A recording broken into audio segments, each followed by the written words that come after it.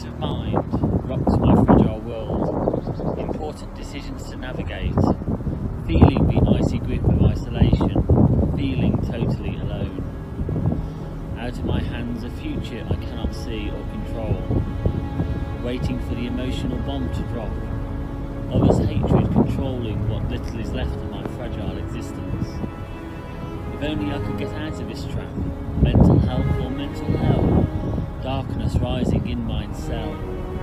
Sadness, madness, feelings as if I'm drowning. Everyday sounds of hopelessness screaming in my head.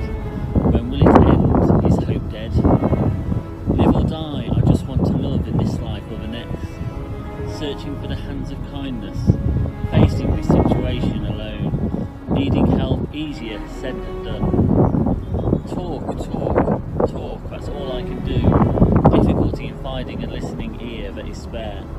My mouth the emotional tap turns on and off to offload and get it off my chest. Depression in a moment of despair. Oh, what to do? What would you do?